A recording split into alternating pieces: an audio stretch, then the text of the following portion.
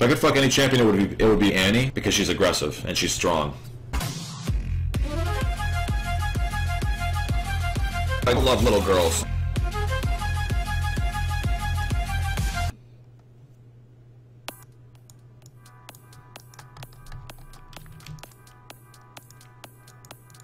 You guys gotta make up your mind. Do I like fucking trees or do I like little girls? Shut the fuck up.